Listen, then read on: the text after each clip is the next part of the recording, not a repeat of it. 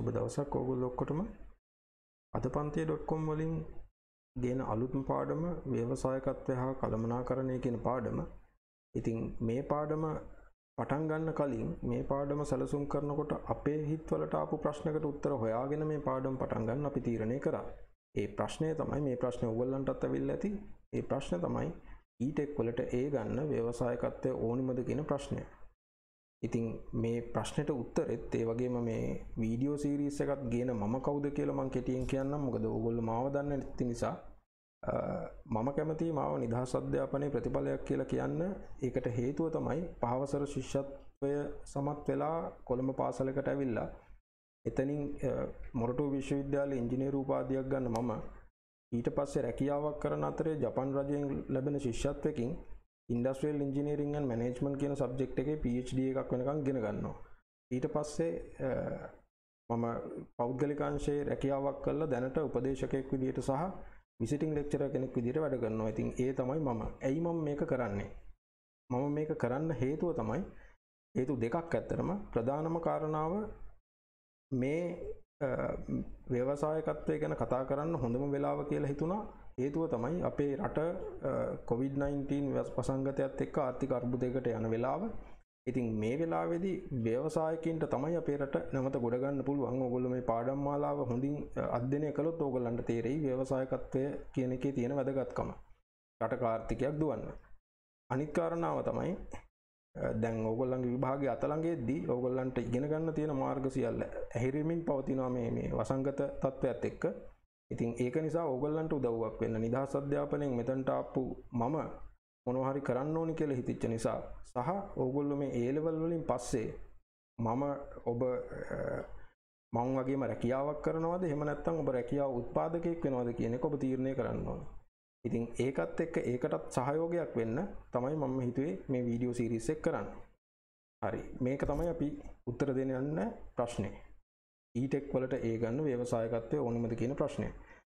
ඒකෙදී මේ ප්‍රශ්නයට උත්තරය හොයන්න අපි කරපු දේ තමයි ඊට කලින් මේ ප්‍රශ්නය අපිට ඇයි ආවේ කියලා ඇහුවොත් මේ ඉංජිනේරින් ටෙක්නොලොජි කියන පාඩම ඇතුලේ පාඩම් කොටස් තියෙනවා 17ක්. ඒ 17න් එකම එක පාඩමයි තාක්ෂණික විෂයක් නැතුව තියෙන එකම එක පාඩමයි තියෙන්නේ තමයි මේ ව්‍යවසායකත්වය කියන පාඩම. ඊට අමතරව ගත්තොත් ඔගොල්ලොන්ට තියෙන සියලුම පාඩම් තියෙන එක්ක සිවිල් ඉංජිනේරින් එහෙම නැත්නම් මෙකැනිකල් ඉංජිනේරින් එහෙම නැත්නම් ඉලෙක්ට්‍රිකල් ඉංජිනේරින් ඊට අමතරව තියෙන පීරියඩ්ස් ගාන ගත්තොත් එහෙම නැත්නම් කාලච්ඡේද ගාන ගත්තොත් එහෙම මුළු කාලච්ඡේද 600න් 18ක් තමයි මේකට වෙන් වෙලා තියෙන්නේ. ඒ කියන්නේ 100ට 3ක බරක් තමයි මේ පාඩමට තියෙන්නේ ඉගෙනීමේ කාලයෙන්. ඉතින් මේක නිසා අපිට හිතුණා ඇත්තටම මේ මෙච්චර පොඩි පාඩමකින් ලොකු කන්ට්‍රිබියුෂන් එකක් තියෙයිද ඕගොල්ලන්ගේ අන්තිම ලකුණු වලට කියලා ඒ ලෙවල් වල.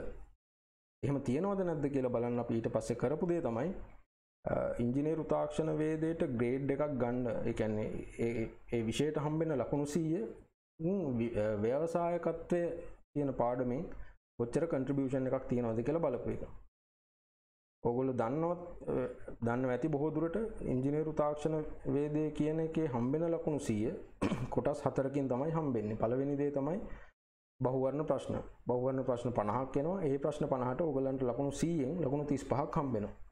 දෙවැනි ප්‍රශ්න පත්‍රයේ තියෙනවා කොටස් දෙකක්. එකක් ව්‍යුහගත රචනා අනිත් එක රචනා. එතකොට ව්‍යුහගත රචනා වලට ලකුණු 100න් තාක්ෂණ වේදේ විෂයට හම්බෙන ලකුණු 100න් ලකුණු 15ක් හම්බෙනවා ඕගලන්ට ව්‍යුහගත රචනා වලට.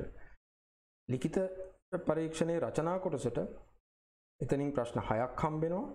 ඒ ප්‍රශ්න හයෙන් ඔගොල් හතරකට උත්තර ලියන්න ඕනේ. ඒ ලියන ප්‍රශ්න හතරට ඔයගලන්ට ලකුණු 20ක් හම්බ වෙනවා. අනිත් වැදගත් කාරණාවක් තියෙනවා ව්‍යුහගත රචනාවලදී ඔයගලන්ට එනවා ප්‍රශ්න හතරක්. ඒ ප්‍රශ්න හතරටම ඔයගොල්ලෝ අනිවාර්යයෙන්ම උත්තර ලියන්න ඕනේ. එතනදි choice එකක් නැහැ.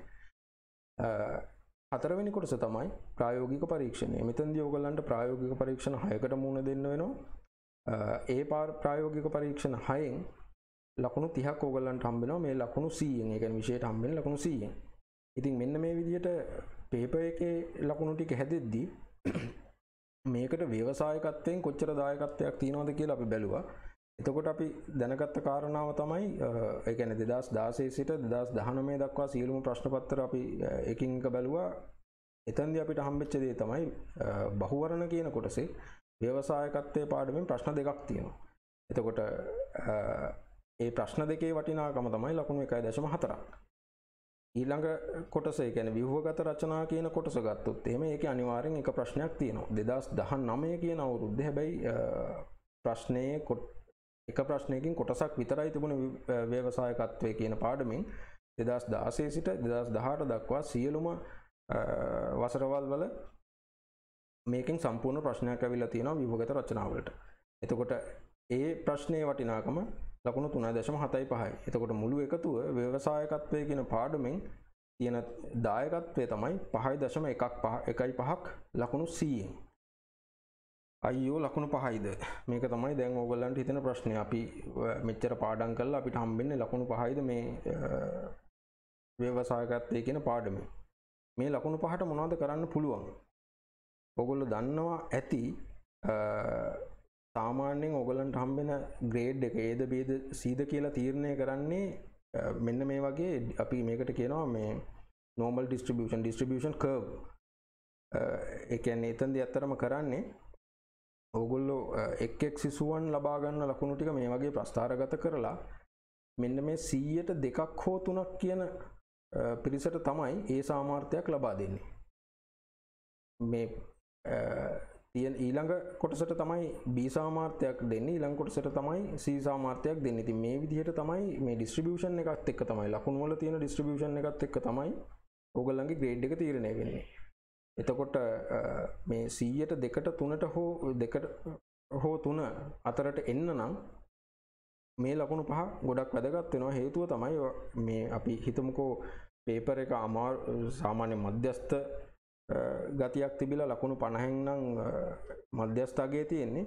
ලකුණු හැත්තෑවෙන් එහා පැත්තට ඒ එකක් දෙනවා කියලා පිහිතුවොත් එහෙම වාට තියෙන හැටනමේ නම් වාට ඒකක් හම්බෙන්න හැබැයි අර ලකුණු පහ ඔයාට හම්බෙලා තිබුණොත් ඔයා මේ දුඹුරු පාට කොටසින් නිල් පාට කොටසට දාන්න අර ලකුණු පහට පුළුවන්. ඒ වගේම ඒ ලකුණු පහ නැතුව ඔයා ඉතුරු ටිකෙන් කෝ කරන්න හැදුවොත් එම මේ නිල් පාට කොටස ඉන්න තිබ්බ ඔයා මේ දුඹුරු පාට කොටසට යන්නත් පුළුවන්. ඉතින් මේක තමයි මේ ලකුණු පහෙන් කළ හැකි දේ අනිත් කාරණාව තමයි හරි ඒක ලකුණු පහට ඔච්චර දෙයක් කරන්න පුළුවන් වුණාට මම මේකට කොච්චර මහන්සි වෙන්න ඕනේද කියන කාරණාව. ඉතින් මට හිතෙන විදිහට මේ කොටස කියන්නේ අඩු කාලයකින් වැඩි ලකුණු ප්‍රමාණයක් ගන්න පුළුවන් කොටසක්. හේතුව තමයි මේ පාඩම ඇතුලේ තියෙන්නේ විෂය කොටස් 7යි.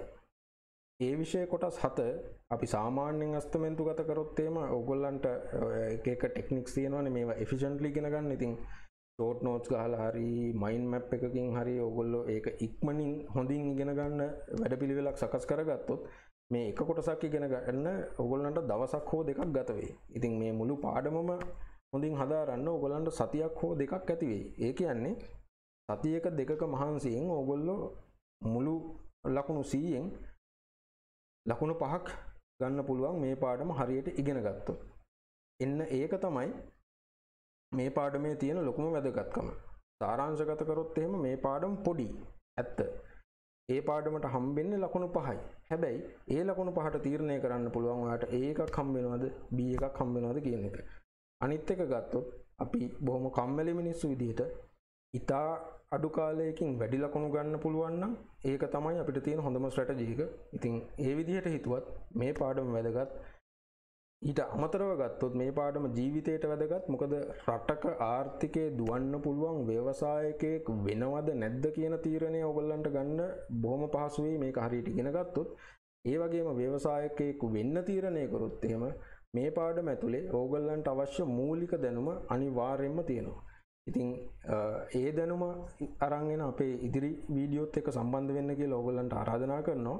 ඊට අමතරව ඔගොල්ල මේ පාඩම දැනටත් ඉගෙනගෙන තියෙනවා නම් ඒ සම්බන්ධ ගැටලු අපේ මේ වීඩියෝ එකට යටින් කමෙන්ට් කරන්න. අපි ඒ වීඩියෝ එකට ඔගොල්ලු දාන කමෙන්ට් ආශ්‍රිතව වෙබින සීරීස් එකක් ප්ලෑන් කරනවා. තව එක දෙයක්. ඕගොල්ලන්ට හිතුනනම් මේ ලකුණු පහ ගන්නම ඕනි කියලා. යස් කියලා කමෙන්ට් එකක් දාන්න. ඒ වගේම ඔගොල්ලු අපිත් එක්ක තාම රජිස්ට වෙලා නැත්තන් අපේ ක්ලාසස් වලට ඔන්ලයින් ක්ලාසස් කරන අද පන්ති.කොම් එකින් ඉංජිනේරින් ටෙක්නෝජි විශය සම්බන්ධව ඒවට රජිස්ට වෙලා නැත්තන් අද පන්ති.කොම් එකට කියලා රජිස්ට වෙන්න අපේ චැනල් එක සබස්ක්‍රයිබ් කරන්න සහ මුලින්ම අපේ වීඩියෝ ගැන දැනගන්න ඕන්නම් වෙබින ගැන දැනගන්න ඕන්නම් ෆස්බුක් පේජ් එකට ලයි කරන්න සුබ දවසක් ඕගොල්ලන්ට හොඳින් ඉගෙන ගන්න සියලු ශක්තිය ලැබෙන්න කියලා ප්‍රාර්ථනා කරමින් ඊළඟ වීඩියෝ එකෙන් හම්බෙමු අපි මේ විෂය කොටසේ අන්තර්ගතය මොකක්ද කියලා. බොහොම ස්තුතියි.